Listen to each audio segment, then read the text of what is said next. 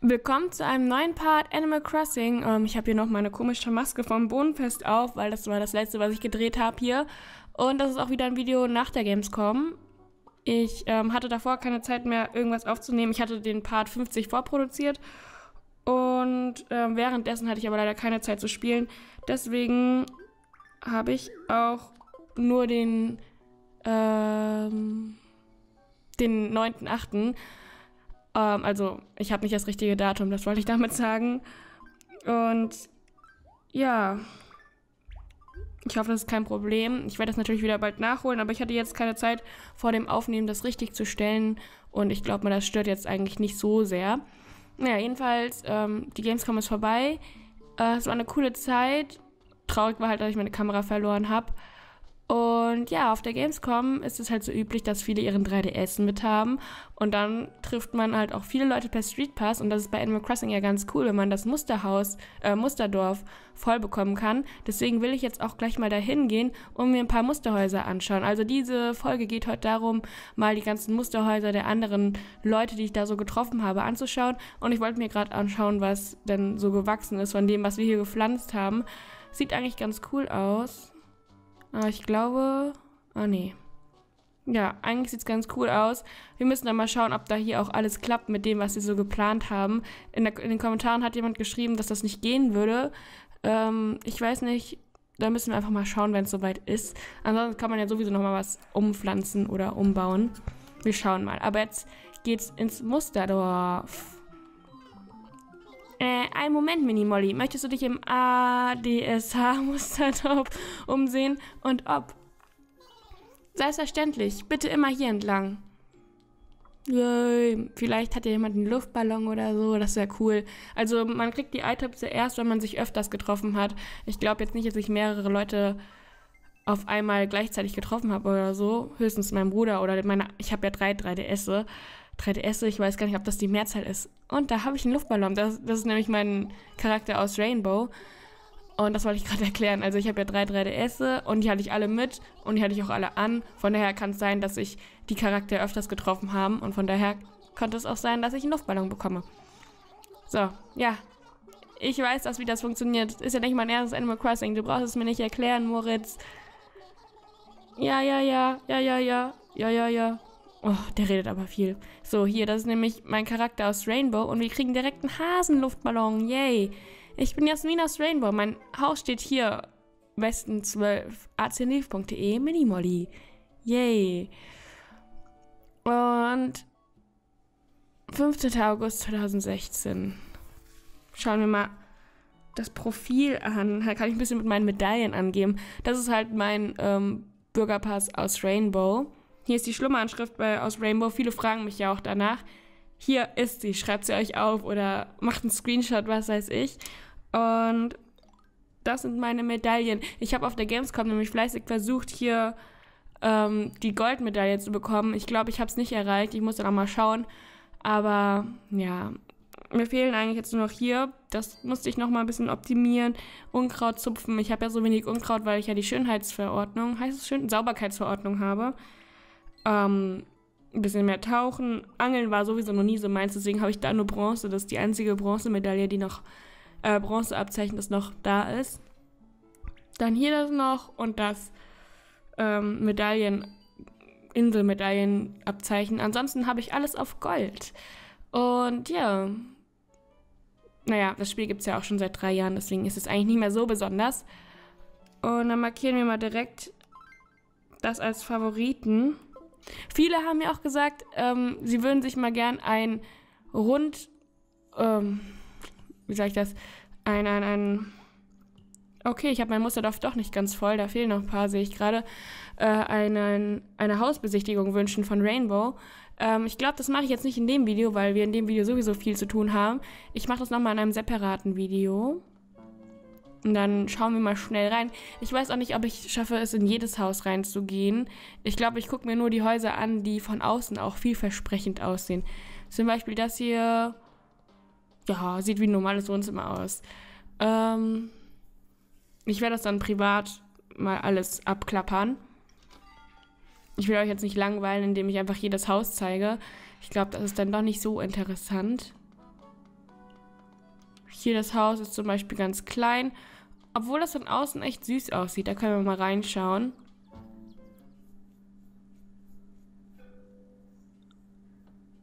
Und die Eisserie.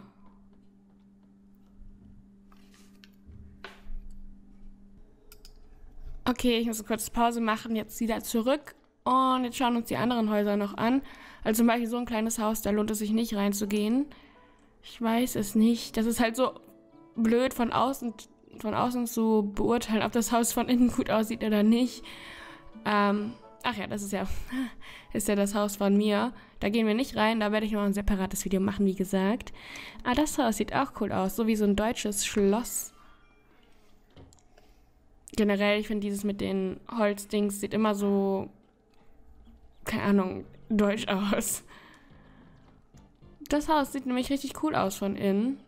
So eine kleine Leseecke. Also das finde ich, wie gesagt, es hat nicht einfach nur so eine Möbelserie, sondern halt irgendwie, da hat sich jemand was dabei gedacht, dass, als er das Haus eingerichtet hat.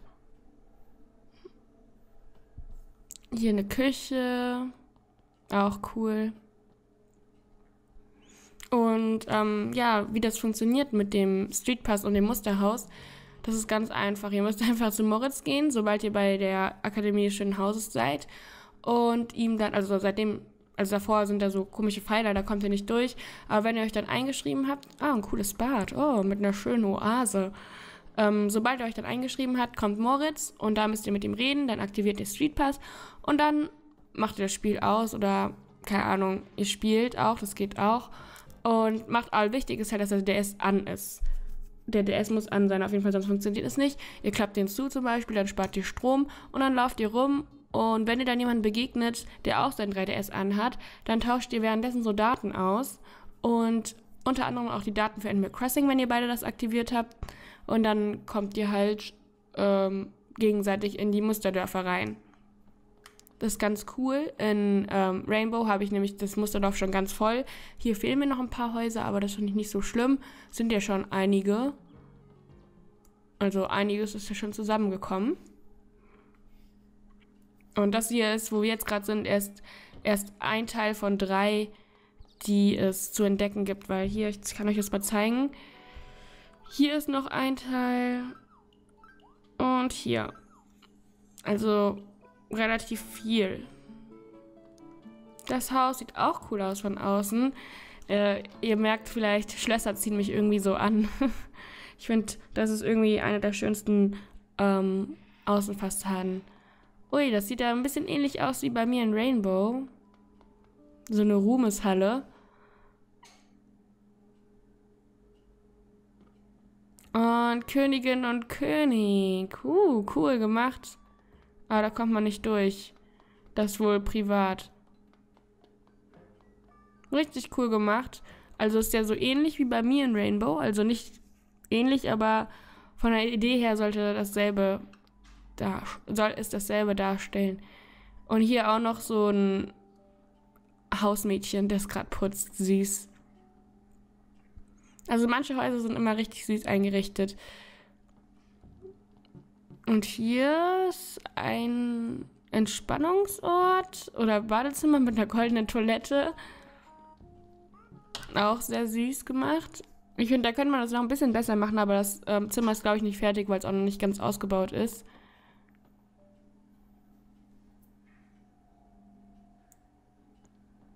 Und hier die königliche Bibliothek.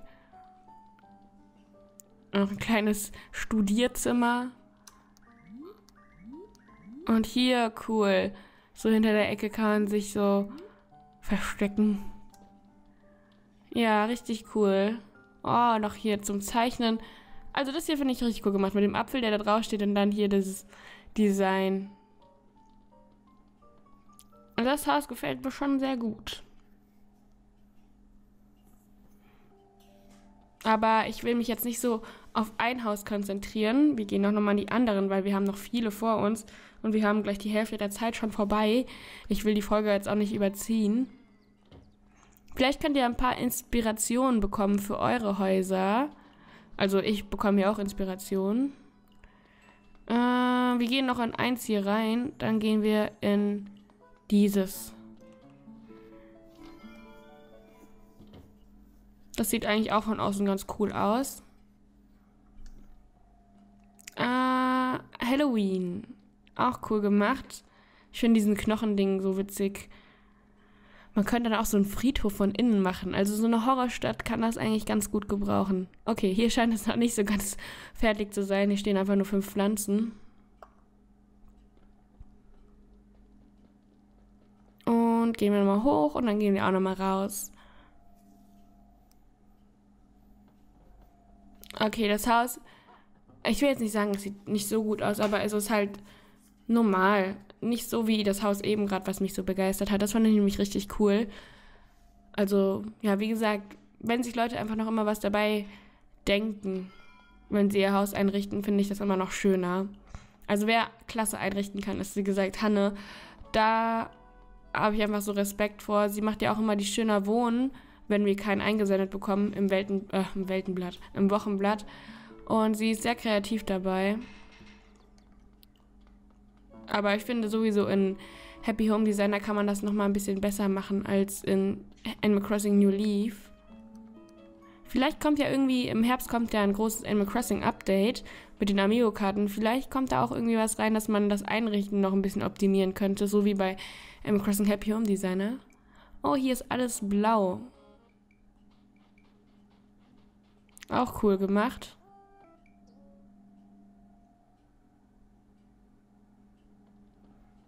Und hier hat jemand wohl bei Ostern ziemlich abgesahnt. Und beim 1. April, weil da hinten waren auch noch ein paar Bewohnerfotos.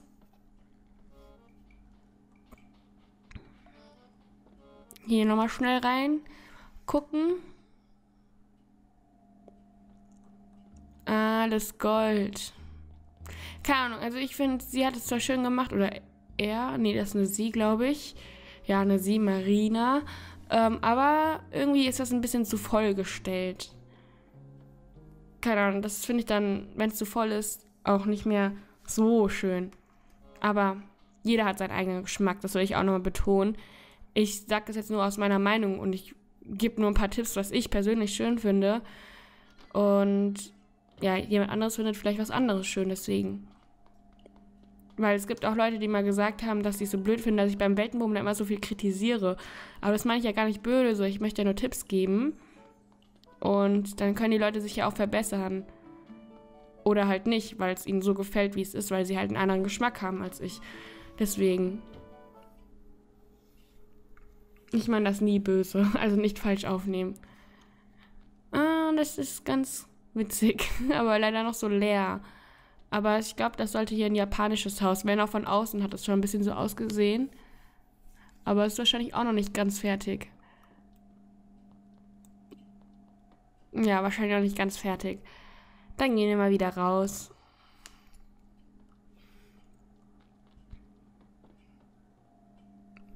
Vielleicht gibt es ja gleich nochmal so ein richtig Wow-Haus, was mich so richtig begeistert. Wie eben gerade das. Das fand ich nämlich wirklich cool. Oh, das, das sieht auch vielversprechend aus. Da können wir uns vielleicht auch was Japanisches einstellen, aber nur vielleicht. Oh ja, das ist richtig schön gemacht. Alaska aus Steff. Kann ja mal schauen. Die spielt auch schon ziemlich lange. Von daher kann man ausgehen, dass sie ein sehr schönes Haus. Und, oh mein Gott, sie hat die goldene Street Pass Medaille eifersucht. Also ihr Haus ist auch richtig schön gemacht. Sehr schön. Also, das, ich kann nur sagen, schön.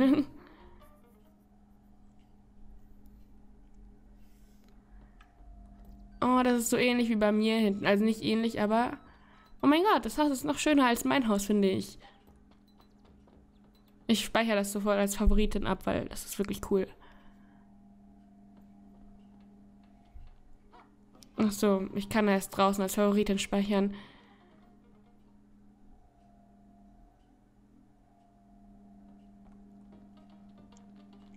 Hier eine kleine Küche. Wobei ich sagen muss, der Sushi-Dings, Dings Bar, keine Ahnung, wie das heißt, Sushi-Bar, passt nicht so rein, weil alles andere ist so altmodisch und die Sushi, der Sushi, die Sushi-Bar ist eher so neumodisch. Aber trotzdem, wunderschönes Haus.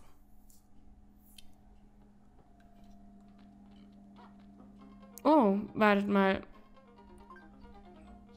Sie spielt seit dem 9. Juni. Vereinigte Staaten. Ach so, sie kommt aus Amerika.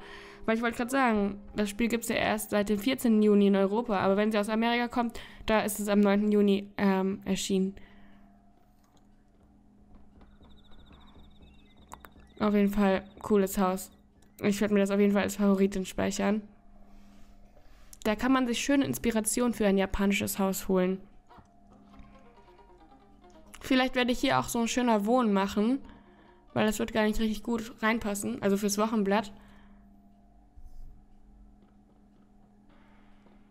Ein Puppen. Ah, cool. So ein Altar. Richtig cool. Ihr könnt ja mal in die Kommentare schreiben, welches Haus euch am besten gefallen hat. Und ja, das könnt ihr mal machen, wenn's, wenn ihr Lust habt. Oh, ein süßes Thermalbad oder eine Quelle. Ich finde, hier ist alles stimmig. Perfektes Haus.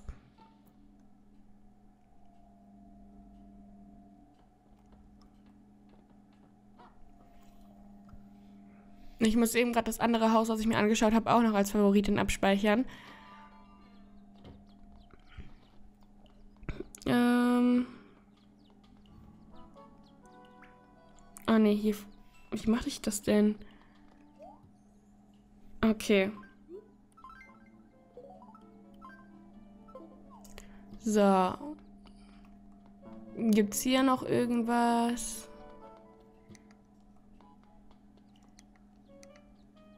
Ich schau mal hier kurz. Nils. Er spielt auch schon ziemlich lange, aber er hat nicht so viele Punkte. Dann gehen wir mal hier nicht rein. Wir haben nämlich leider auch nicht mehr so viel Zeit. Da will ich das jetzt nicht äh, verschwenden, sage ich mal. Die Zeit. Aber es kann natürlich trotzdem sein, dass das Haus schön war. Okay, hier ist auch nicht so viel.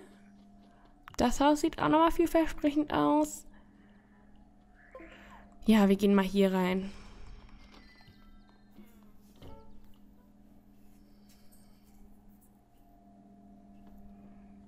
Ah, ja, das hatte ich auch gesehen bei mir auf dem Rainbow-Account sozusagen, auf einem anderen Spiel. Das Haus fand ich auch ziemlich cool. Sind zwar auch nach Möbelserien eingerichtet, aber irgendwie, ich finde, dass dieses, dieses, dass er die Möbel nochmal verneu, also ge, aufgemöbelt hat, fand ich es irgendwie ganz cool. Und haben, er hatte nochmal so ein paar extra Sachen reingestellt, die das noch ein bisschen aufpeppen. Aber ich glaube, die anderen Räume sind irgendwie nicht so weit. Ich gehe dann mal wieder raus, aber auf der jeden Fall der erste Raum hier, der ist cool. Wer grün mag, der sollte sich mal hier was abschauen. Dann gehen wir weiter.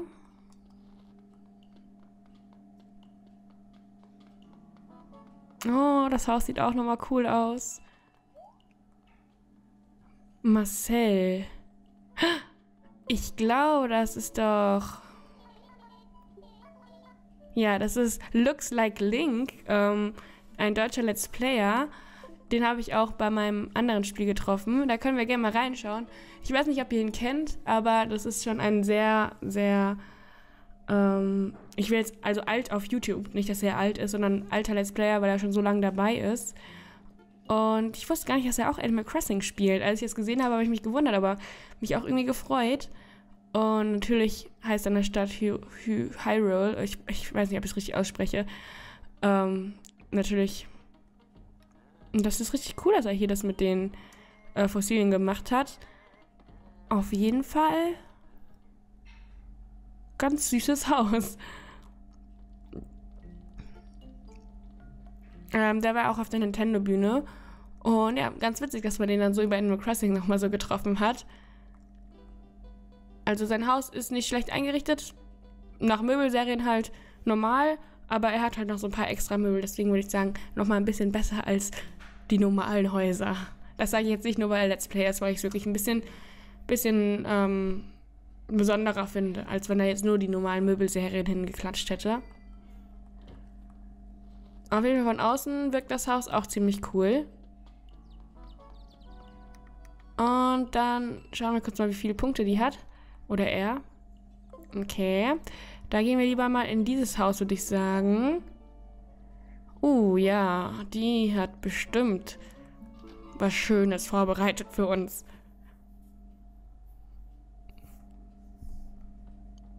Ah, die Nixon-Serie.